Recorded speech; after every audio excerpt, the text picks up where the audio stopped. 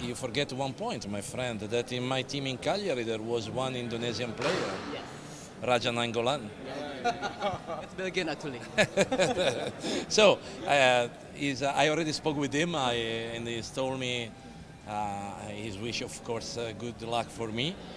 Told me that uh, with my knowledge I can help the club to to be better, to become better. But of course, it's not a process that uh, take from uh, morning to the evening. It's a long journey, but the journey all the time starts with the first step.